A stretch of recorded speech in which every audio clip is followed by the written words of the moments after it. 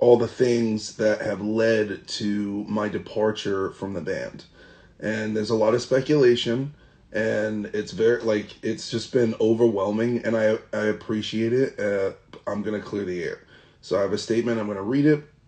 Bear with me. It's uh, I just woke up a little while ago.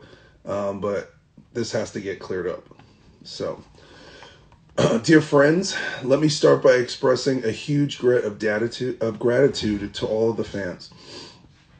All the people at our label, our management, our lawyers, and everyone who helped in establishing Bad Wolf's career.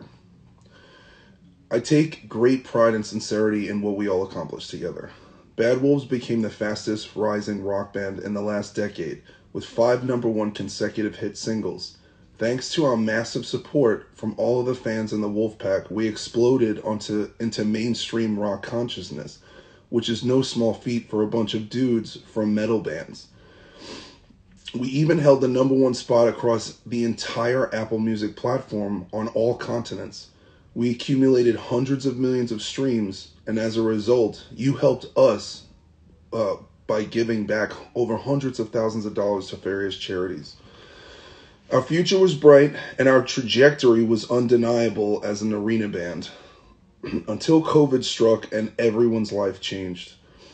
I saw things happening that I didn't understand. During the first quarantine, I publicly voiced my concerns about where we are going as a nation and what is happening to the country that I love. I voiced my disappointment for protests that had turned into violent riots. Cities, businesses, lives destroyed, and then called mostly peaceful. I criticized the media standing idle and even condoning that behavior. I pointed out that good causes were infiltrated by bad actors, hijacked, and delegitimized a good movement. I dared to question who financially benefited from all this and who was funding these events. I questioned the lockdowns when small businesses were driven into bankruptcy and yet big chains were allowed to operate. I questioned imposed social distancing when rioting and looting was exempt, or why you can't have family gatherings or eat at restaurants with you with anyone unless you're a politician. the repeated this is a repeated hypocrisy we saw time and time again. And for this they came after me. Me, an African American artist speaking his mind. I became unacceptable by the gatekeepers because I walked off the plantation. I had to be silenced. Cancel culture came after my band.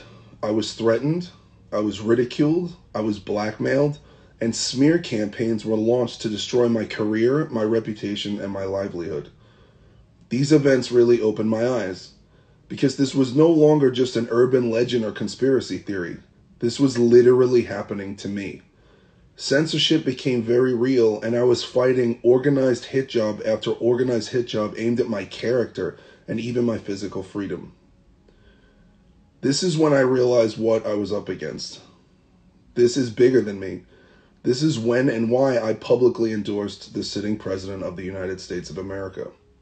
Because I believed he was fighting the same big tech the same media, the same gatekeepers, the same faceless radicals who wish to destroy our First Amendment rights. But I will not be silenced.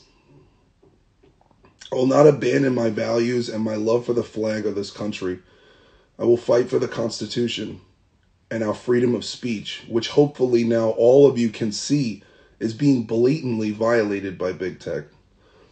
However, this is my fight I realize I cannot drag my band members and people around me into this. I, on my own, decided to go solo. This way, everything I say and do will affect only me. I wish the best for the guys in Bad Wolves. We had some of the best times of my life building a band together, and I love those guys. But you, you guys know me, and I have to fight back. This is who I am. I can't expect you to put your lives on the line to defend me, especially when we don't have the same ideologies in mind. I can't accept the label to fight my battles on my behalf. And to, to all the fans, to my friends, to my family, thank you for always supporting my voice. I'm excited to start the next phase of my career. Over the past year, I've recorded over 37 songs by myself due to COVID, there was no way for the band to get together and to work on a record. And so I worked fever feverishly in the studio uh, with different artists, producers.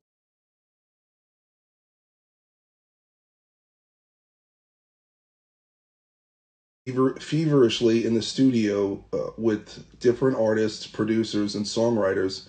And after 37 songs were completed, it was very clear that I had become a solo artist.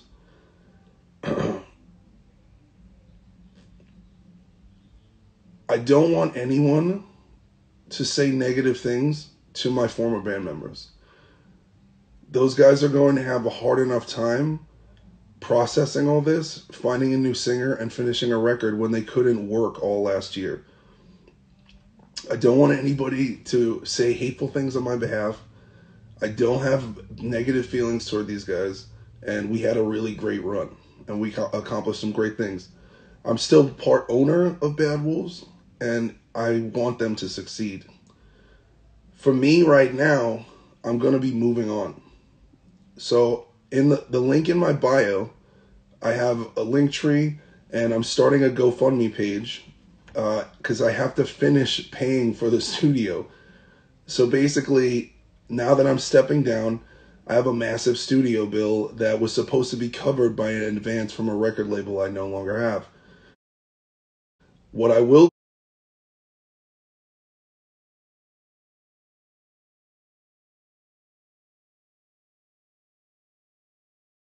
What I will do is whether you donate a dollar or ten dollars or hundred dollars, whatever you donate, you will get a free copy of the cover album uh, and a link that will go out to everyone who participates in the GoFundMe. Uh, I put up an OnlyFans. There are not there are no nudes on there, uh, and then all of the the entire cover albums, the double cover albums, all but two songs, so twenty two songs. Those songs uh, were not recorded by members of Bad Wolves. Uh, they were they were recorded with my studio team. It's the same the same guys, um, Philip Naslin, the Swedish producer, uh, and Max Karen, who's a guitar player and producer out of Las Vegas, who also are the artists who played on Zombie that everybody knows.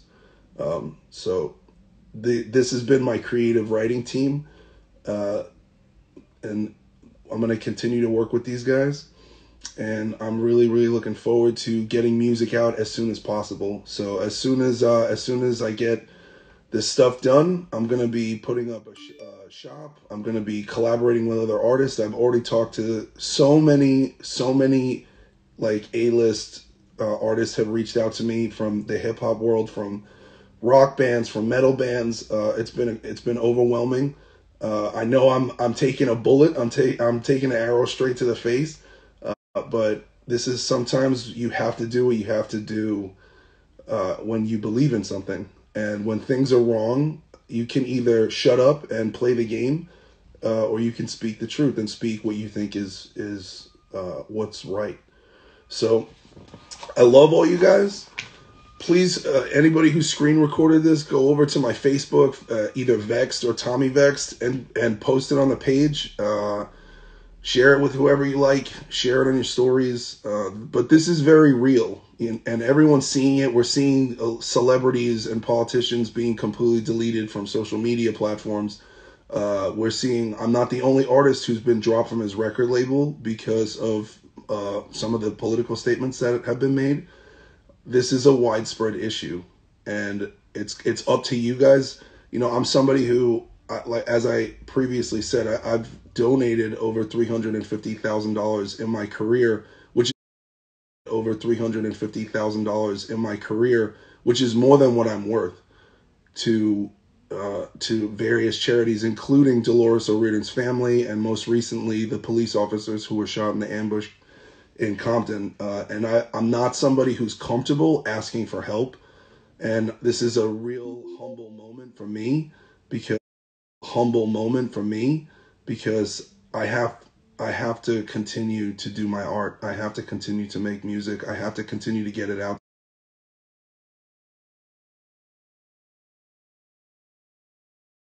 To do my art, I have to continue to make music. I have to continue to get it out to you guys. to do my art. I have to continue to make music. I have to continue to get it out to you guys. Um, I'm gonna be starting a website, and um, you know, you guys can sign up for for all that stuff as it comes. And if you guys, if you can give, if you can't give, that's okay. Um, if you have any, you could just leave positive, reinforcing messages. And again, you know, you have, you have to understand, Doc and John and Chris and Kyle are like my brothers. I've known these guys for 20 to the the 20 I've, I've known these guys for 20 to the the 20 to 10 years is the shortest amount of time I've known those guys. Uh, they have a right to continue to do what do what they're they're doing. They have a right to have their own career and they have a right to their own political beliefs, which are which you know, it's not fair for them to take heat for beliefs that they don't have. These are my beliefs. So I'm going to do my thing. I really, really appreciate you guys. I really love you guys. Uh, you know, this is uh, this is going to be a positive thing, and there's going to be a healthy competition. I, I, can't wait to hear what comes out of them musically. Uh, you know, I got a short list of singers that I, I'm fingers crossed that singers that I'm a fan of that I hope they get, and um, you know, I just uh, you know, I, I'm gonna go. I'm gonna crush it you know, and so I'm just gonna keep making music and keep doing my thing, and um, you know, thank you guys. I really appreciate it, and it's been my honor and privilege to meet you guys and to perform for you guys and to share experiences with you guys. And you know every day I get off stage every time we play a show I end the show by saying you know thank you for giving me an opportunity to live a life beyond my wildest dreams. And no matter what the media can do to me, no matter what the gatekeepers can do to me or big tech or this, that, the other, I literally am someone who I was a I'm a, I was a, a drug addict, you know, who got clean, and I had this amazing journey, and I've been all over the world, and I've saved other people's lives. There are people who, you know, there are there are people who are I look up to that are artists that would not be alive if it wasn't for me, you know, and that's been the great privilege of my life is to be someone who you know, when when my higher power called me to show up for other people, you know, I knew what to do. And so I love you guys. I love my life. I love making art. I love this country. Fucking God bless America. God bless all you guys. God bless everywhere. It's a crazy time and uh, you know, I'm keeping the faith and you know, this is Vexit 2021. All right, thanks.